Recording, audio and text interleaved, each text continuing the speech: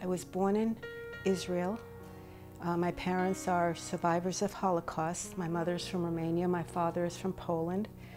And my father came here first. He was waiting for everybody, and uh, I was really, really happy to be here. The Holocaust exhibit was inspired by my parents, what they've been through, their courage, their hope, their determination, that they were able to survive what they did.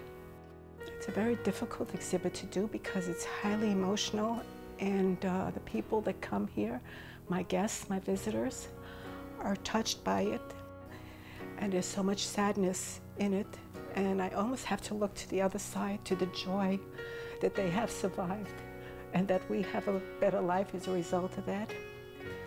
Which brings me to the other side of the uh, Americans and the Allied forces, how they saved our country, how they saved the world. I'm, I love this country very much, and it's in that gratitude that I do politics, freedom, and the underdog. My husband is very supportive of what I do.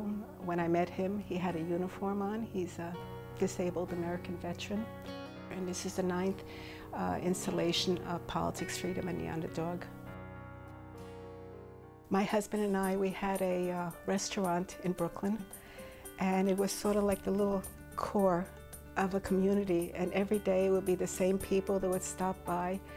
And one day, I was wrapping up a sandwich or something, and I don't know, the, something with the paper bag, it was crumpled. And uh, as I'm giving back um, the order, I'm looking at it and I'm seeing a face. it was very whimsical, it was very funny. And I'm thinking, I don't know where this comes from, maybe because I'm seeing all these people, all these faces, all this interaction. And that was the beginning of the Zeek. I used to have a lot of furniture here. and slowly, each piece, not important, not important, get rid of it. And I never replaced the furniture, so it was replaced by different works of art. Uh, I would put them outside for various uh, different things, for elections. I guess it was sort of like art in public spaces, except that this was my space, like I've done all along.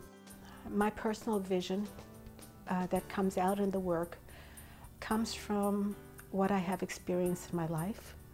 It comes from who I am, but what drives me is my spirit. And that's what's in my work.